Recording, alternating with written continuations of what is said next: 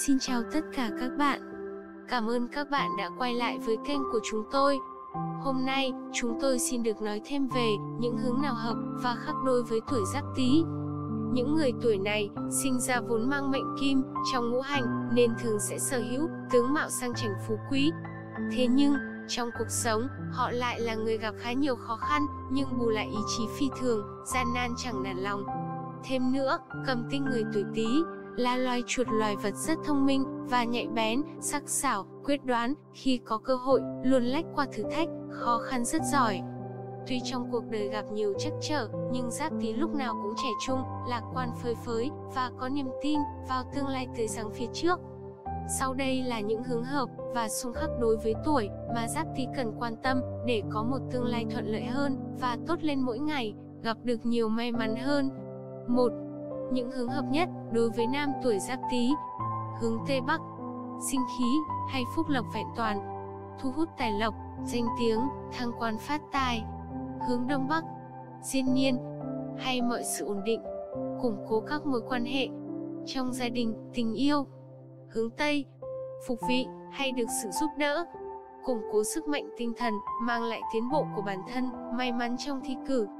Hướng Tây Nam, thiên ý hay gặp thiên thời được che chở, cải thiện sức khỏe, trường thọ.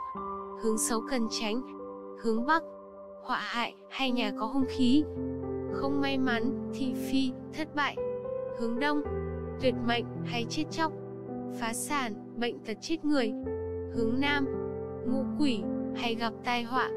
Mất nguồn thu nhập, mất việc làm, cãi lộn. Hướng Đông Nam, lục sát hay nhà có sát khí. Xáo trộn trong quan hệ tình cảm, thù hận, kiện tụng, tai nạn. 2. Những hướng hợp nhất đối với nữ tuổi Giáp Tý. Hướng Tây Bắc, thiên y hay gặp thiên thời được che chở. Cải thiện sức khỏe, trường thọ. Hướng Đông Bắc, phục vị hay được sự giúp đỡ. Củng cố sức mạnh tinh thần, mang lại tiến bộ của bản thân, may mắn trong thi cử. Hướng Tây, diên niên hay mọi sự ổn định. Củng cố các mối quan hệ trong gia đình, tình yêu.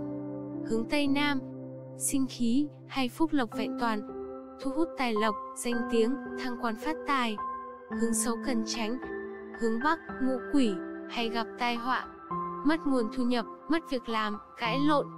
Hướng Đông, lục sát, hay nhà có sát khí. Xáo trộn trong quan hệ tình cảm, thù hận, kiện tụng, tai nạn. Hướng Nam, họa hại, hay nhà có hung khí. Không may mắn, thị phi, thất bại. Hướng Đông Nam, tuyệt mệnh, hay chết chóc phá sản, bệnh tật chết người.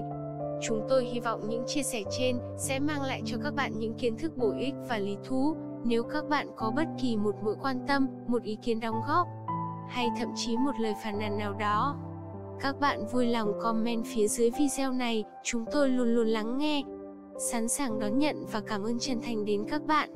Xin các bạn hãy giúp đỡ chúng tôi bằng cách nhấn vào nút đăng ký, like, share để kiến thức được lan tỏa. Cảm ơn chân thành đến tất cả các bạn